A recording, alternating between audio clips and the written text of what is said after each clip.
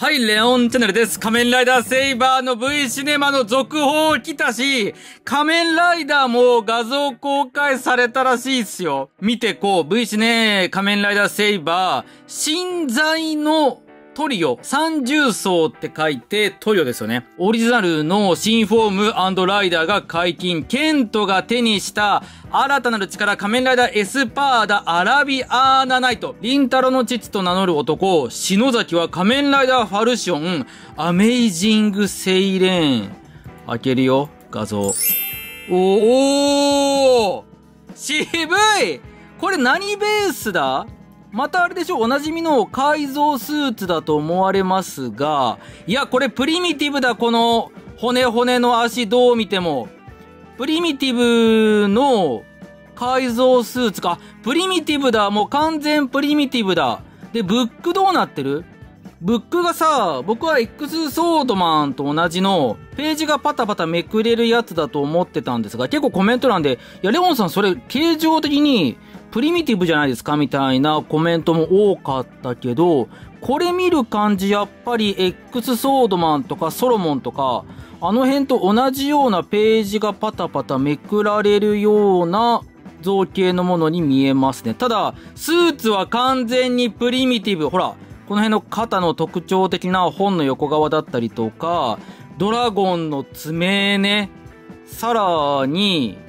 下半身のこの骨っぽい造形とか、すごく特徴的でしたが、頭部のみ、新規だ。エスパーダ的な複眼リングがあって、そこから稲妻だね。稲妻、雷属性の剣士だから稲妻の造形とソードクラウンはおなじみ。ちょっと長くなってる。そんなことないか。ただ首から下は本当色替えしてるだけで、完全プリミティブっすよね。ブレイブドラゴンが挟まってた、掴まれてたところに、今回のブックの絵柄が、アラビアナイトっぽい絵柄がありつつ、金とネイビーに変わってると。そしてこれね、エンブレムも新しいものが VC の解禁と同時に公開されておりましたが、やっぱエンブレム変わるんだ。ちょっと、エスパーダっぽくないかな。エスパーダって言うとやっぱりもうちょっとエレガント的なスーツ造形のイメージだから。あと、ここのフックガン部分も、あ、これ月か。以前公開された、これだ。月光雷鳴剣エンブレム。ここが月になってるから、今回の複眼部分も月になってるんだ。なるほど。それでちょっと分厚めなわけね。と、で、アラビアナナイト、プラス、アメイジングセイレーン。アメイジングセイレーンはトーマが使うんじゃないかとか、プリミティブみたいにこれをガチャッとセットして、2冊で変身するんじゃないかって言われておりましたが、ファルシオン、うん、アメイジングセイレーンって書いてあったから、これかあ、なんかちょっと、ダサくなってる え、せっかくかっこよかった。ファルシオンがなんかちょいとダサくなってる。ファルシオンってもともとあれだっけ？ゴーストのアンダースーツ改造だっけ？で、そっから、もう、これはまあまあファルシオンか。そのまま？元々のファルシオンがこうで、で、左側が今回のアメイジングセイレーンですから、聖剣はそのままだ。無名剣虚無って結局どうなったんだっけ？完全に同じだね。まあ、柄こそ新しくなっておりますが、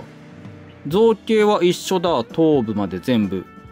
で、白黒になってて、やっぱそう思うと、普通のファルシオンってさ、この不死鳥の造形が完璧にスーツに馴染んでましたよね。今回はなんか、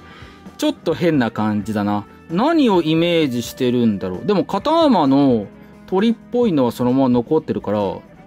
なんか特殊な鳥の柄みたいな、そういう風に見せてる感じ。で、ブックも一冊アメージングセイレーンがハマってますね。正直これはかっこいいとは言い難いけど、今回はこれが敵ライダーとして立ちはだかる感じ。そして8年後の話ですから、少し成長してるケントくんと新キャラおじさま。公式サイトも更新されてますよってことですから、見ていきましょう。ストーリーが更新されてるそうです。最終章から8年、仮面ライダーセイバーのその後を描く物語。トーマ、仮面ライダーセイバーをはじめとする剣士たちがその命をかけて世界を救ってから8年の月日が流れた。トーマは親友、マミヤ。おー、新キャラか。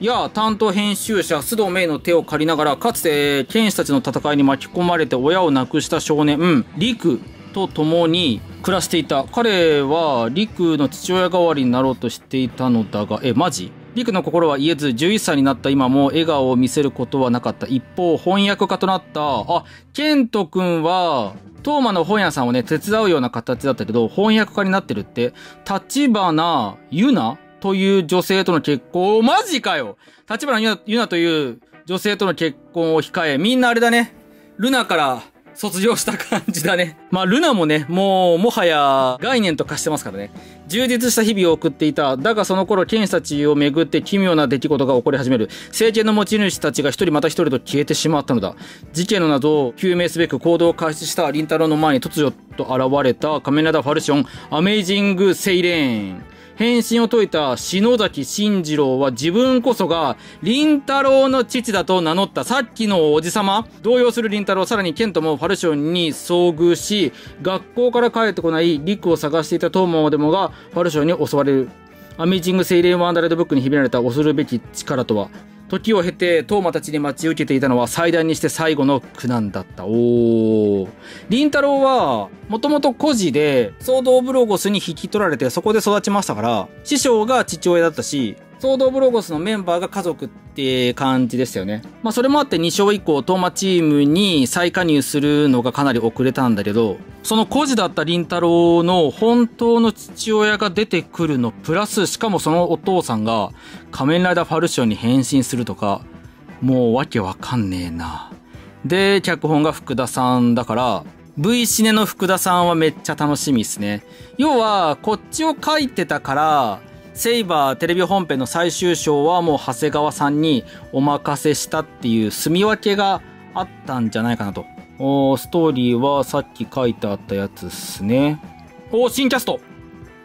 あ、木村亮さんじゃん木村亮さんめっちゃ好き。ゴーストの映画もすごい良かったし、エクストリーマー。え、そう、エクストリーマー僕結構好きなんだけど、というか劇場版の敵キャラクターってみんなかっこいいんだけど、そのアルゴスが変身するダークゴーストもエクストリーマーもすっごい良かったから、僕の中でダークゴーストとかかなり評価高かったんだけど、テレビ本編で結構雑に登場して、しかもアルゴスが変身しないし、なんか、え？そんな使い方みたいなちょっとショックがあった。トーマの古い友人の医者、マミを演じるのは、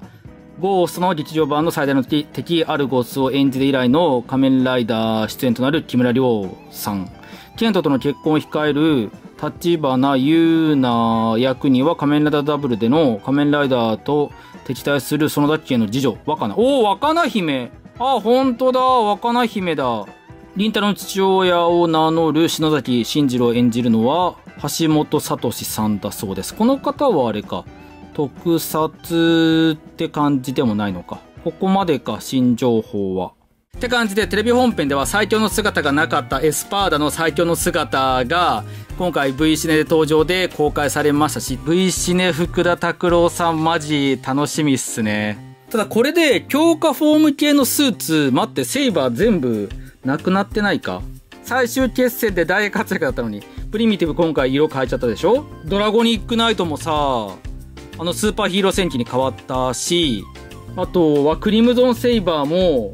真っ青になったよね。クロスセイバー関連で。なので仕方ないとはいえ、もうこれで今後プリミティブの登場がないのは少し寂しいかな。結構重要なフォームだったしね。とりあえず気になる続報と仮面ライダーの姿も解禁されましたので、このリンク下に貼っておきますから、詳細はそちらからご確認ください。以上、仮面ライダーセイバー V シネマの新情報を確認してみたの動画でした。